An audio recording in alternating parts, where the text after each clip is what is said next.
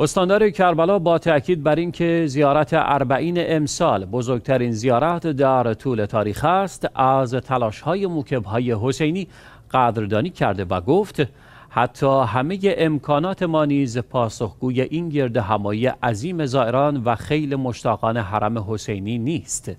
به گزارش خبرگزاری اخبار شیعه مهندس نصیف الخطابی استاندار کربلا روز دوشنبه با حضور در برنامه طریق الحسین که توسط همکارمان مصطفی الزیدی تهیه و ارائه شده و از شبکه دوم ماهواره امام حسین علیه السلام به زبان عربی پخش می شود. ضمن اعلام این مطلب گفت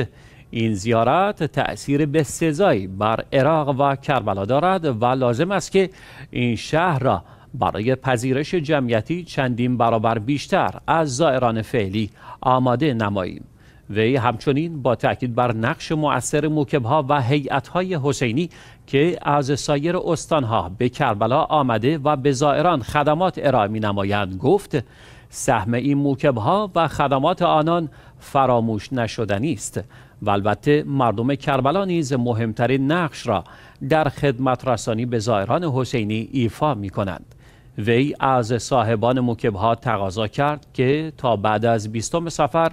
در محل استقرار خود برای پذیرایی از سایر زائرانی که از این پس وارد شهر مقدس کربلا می شوند حضور داشته باشند. الخطابی خاطر نشان کرد زیارت اربعین نه تنها یک سفر با مسافران میلیونی بلکه یک سامانه یک پارچه است که نیاز به خدمات اساسی دارد که از گذرگاه های مرزی آغاز و تا شهر مقدس کربلا ادامه دارد.